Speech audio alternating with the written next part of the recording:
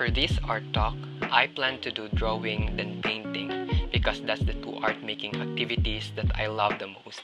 However, I realized my paints will not be sufficient enough for the entire drawing.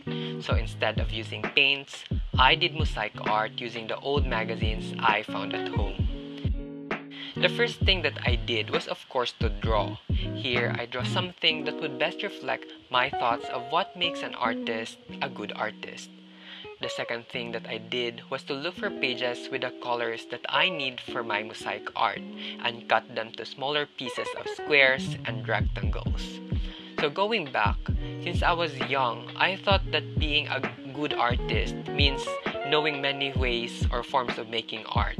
So I tried to involve myself in many forms of art making, such as drawing, painting, dancing, acting in school, and even poem writing.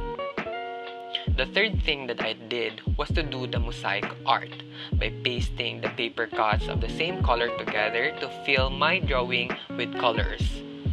So I tried many forms of art making, and because of that, I can say that I really never mastered one, which made me doubt myself if I am really a good artist because only few appreciates my art. So, if you're like me, who also doubted themselves, it's okay because what makes an artist a good artist is not about others' opinion about their art. It's their ability to freely and effectively communicate and express their thoughts and emotions through their work of art.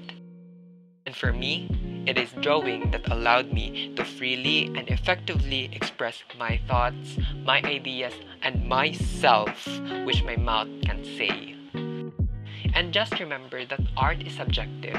What is beautiful for you might not be beautiful for others, and vice versa. So, others not appreciating your art is okay. And that does not mean that your art is bad or that you're not good enough or you're not a good artist.